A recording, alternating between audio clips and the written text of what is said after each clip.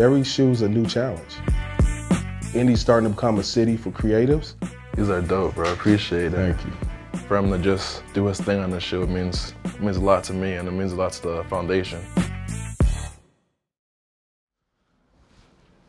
How are you, bro? How you doing? Doing well, yeah. All right, pleasure to meet you. Yes, sir. Pleasure. Right on. My name's Omar Rashan. We're here at my studio, Elevated Culture, the headquarters of Formula 808, and I get the opportunity to present a pair of cleats to Kwity for my cause, my cleats. Hope that he likes it. Glad that I was able to have the opportunity to work on your cleats. Yes, sir. Um, you know, this was a great experience. It means a lot to me, you know, and it means a lot to the foundation just because, like, we fund uniforms to underserved uh, youth football teams and stuff like that. Yeah, so, yeah. I had a chance to meet Kwity uh, through the process of my cause, my cleats. What made it really cool was the cause of each individual. The cause in this particular matter was really about the mission.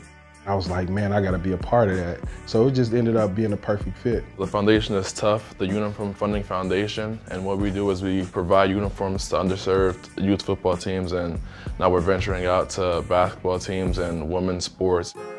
I've done close to almost 100 shoes, right? The most challenging part is just, you know, you wanna make sure you convey in some type of way a part of the story.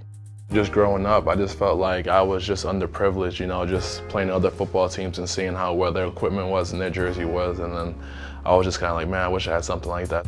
Sports plays a, a big role in a lot of kids' lives, you know, it, it teaches them a lot of lessons throughout life, and if I could do anything to have those kids play those sports, and, you know, just apply that to their life, it's, it's, it's amazing. some of the things that they was wanting. The shoe was kind of expressing those things, the toughness and the boldness, and, and so I just complimented that part of it and just flowed right into it. That way everything kind of comes together. So I hope that you like what I put together for you. Definitely. All right. Oh yeah.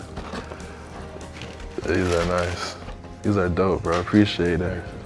For him to just do his thing on the show it means it means a lot to me and it means a lot to the foundation. I appreciate the local guys really supporting us guys on the team, just making me feel welcome in my first year here.